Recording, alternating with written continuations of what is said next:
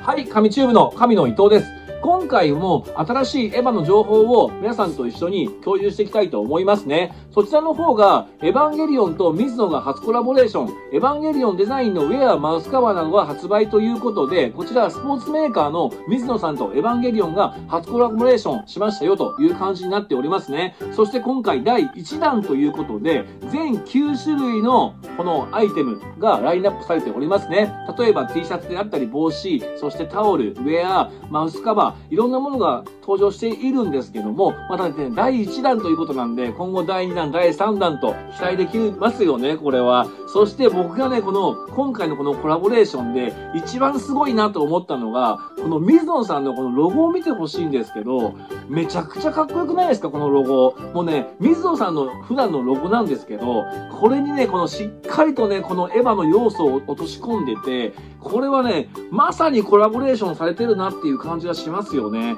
これね、デザイナーさんよ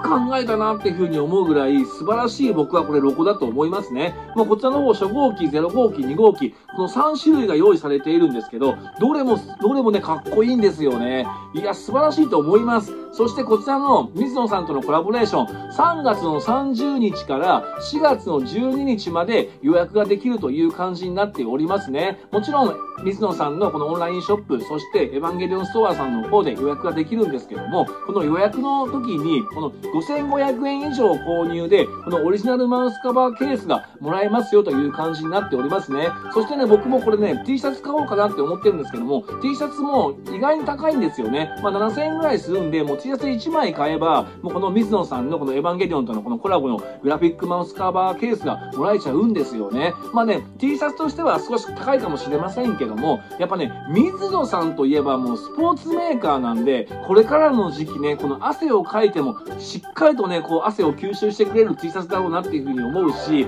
またね、この T シャツのこのロゴがね、さっきも言ったんですけど、めちゃくちゃかっこいいじゃないですか。しっかりとここにあしらわれているっていうのがあるんで、もうこれは僕をね、T シャツは買おうかなっていうふうに思っておりますね。そしてね、このラインナップの方、気になる方は僕の概要欄の方に、この水野さんの URL 貼り付けておきますんで、そちらの方に飛んでいただいて、あの、詳しく商品の方を見てほしいと思いますね。そして先ほども言ったんですけども、第1弾、そしてこれから第2弾、第3弾とこの水野さんとエヴァのこのコラボ続いていくと思うんですけども、やっぱね、僕の希望としては、僕ずっと野球やってたんで、グローブを作ってほしいなと、このエヴァのコラボのグローブ出たら絶対買いますんで、ぜひともね、グローブ作ってほしいなっていうふうに思いますね。はい。まあ、そんな感じで今回の動画を終わらせていただきます。神チューブの神の伊藤でした。よろしければ、グッドボタンと仲良くなるためのおまじない、よろしくお願いします。